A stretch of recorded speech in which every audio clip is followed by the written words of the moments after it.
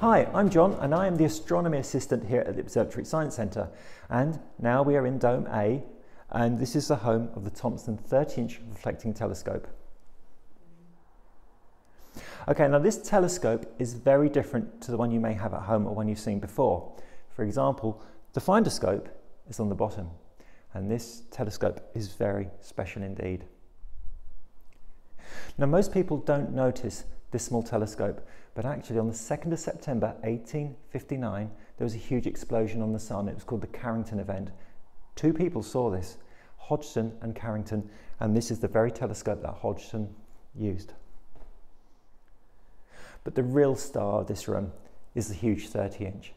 Now, unlike your telescope at home, the eyepiece is not attached to the telescope. It's on this tower.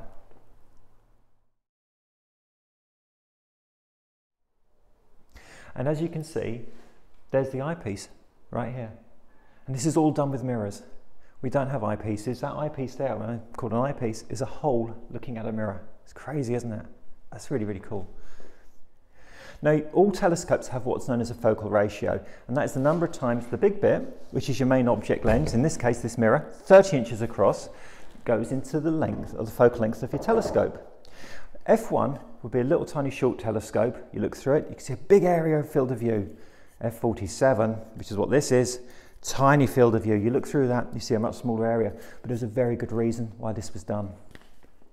So F47, as you now know, we get a tiny field of view. And the reason being is with this telescope, all we wanted was the light of single stars. You're not going to get galaxies through this. You can try, you're not going to see them single starlight because this telescope is a spectrograph. It photographed what stars are made from. Next time you look at a CD, pay close attention. Those colour bands are the light in the room you are in being broken down for you. Isn't that cool? So the magic of spectroscopy with the telescope is we get to see coloured lines in starlight, these colour bands like rainbows. But these bands are the important part because these are chemical elements within the star we're looking at which tell you what the star's made from. Okay, okay. so we see these lines in starlight, and these are chemical elements buried within the star itself that's being looked at. And these elements are actually this. Now, don't be frightened of this. You've all seen it at school. It's the most beautiful and poetic thing you will ever see. It's the periodic table of elements. Hydrogen is number one, helium. You've got part of the Big Bang here, and the, and the process of stellar evolution has created many of the other elements here. The important thing is we filled in the gaps. We're good at science. Okay, so that's what the telescope was used for. It was used for telling us what stars are made from. But today, we use this telescope for looking at the stars and enjoying the night sky. Because most people, like yourselves, if you haven't got out, you, you don't always get to see the night sky through beautiful telescopes like this. And it's great to see what we see. Now, as I mentioned earlier, this telescope has what's known as the focal ratio is, is an f47. Hubble is only an f24 by comparison. This is big. This is the biggest gun in Sussex. She's huge. Now, the most common question I am asked on open evenings, how does it work? How does the light get from here to there? And like I said before, it's all done with mirrors. The light will come down the tube and hits the mirror at the base here. It then gets pushed, photons, this is, gets pushed two thirds of the way back up to the lump of metal you can just see jutting out the side there. That's where the focus is controlled from. The light is then pushed down towards the axle where we have a mirror on a very special mechanism and its movement is so perfectly tuned to never leave the mirror at the top of this tower. Wherever this telescope goes, the photons will hit that and bounce down through the eyepiece. The telescope sits between two prongs in this instance. These prongs are pointed to the pole star and as the Earth swings, we only need one motor to drive the telescope because wherever it sits, it will track the stars across that part of the sky. Very simple and very efficient at tracking starlight because we don't have to worry about driving up and down because the Earth's doing that for us. Now, the most amazing thing about all the domes here, the telescopes are inside the domes, brilliant. They can look anywhere you want because we can move the roof. That's also brilliant. But they're not attached to the buildings. They sit on concrete pillars that are driven into the bedrock with the buildings and the domes built around the telescopes. Whatever happens on this floor, the telescope is unaware of it. There's no vibration transmitted to the telescope. If you photograph through these, you are guaranteed a crisp, sharp image. Now, as also previously mentioned, this telescope weighs six and a half tons.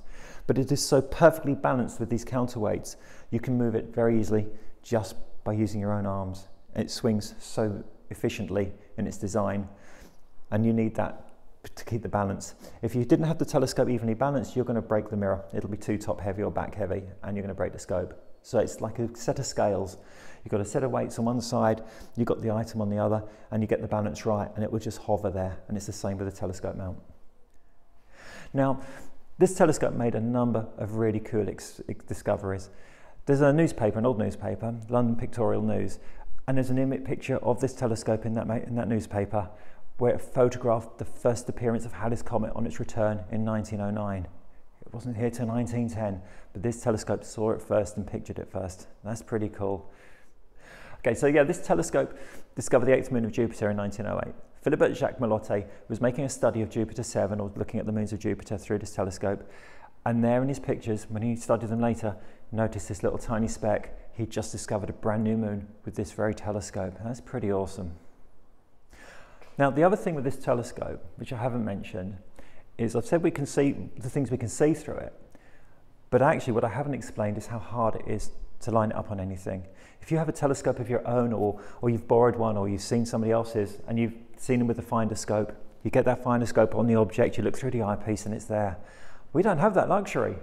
We've got a couple of finder scopes here, bit hit and miss. There's no computer. The most technical thing in this room right now is the camera I'm talking to.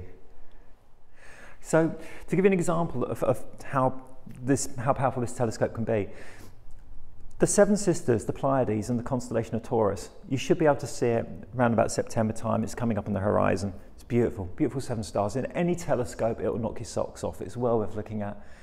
In this eyepiece, we can only see three of those stars. Now that's pretty crazy. To get this lined up on a star like Sirius, big and bright, can't really miss it, it's actually difficult because the field of view is so, so small that the star could be anywhere near the eyepiece and we have to hunt for it. But once it's in there, wow, it's great. Now, an astronomer I met who still works at La Palma was telling, was telling me a couple of years ago that one of the detectors on Hubble was actually used on these telescopes. That's pretty awesome. So part of this is in space and I'm well proud of her for that. Okay, so to conclude, as you know, these telescopes came here from London in the 1950s. On the 4th of December 1956, this telescope was installed in this room. And it's through your support and guys like you and all of you watching this right now that we're able to keep these working for you to see them. And I realise that you know the current things have been really difficult for everybody. It will change, and when it does, you've got to come and see this telescope. It's worth every moment of your time. Thank you.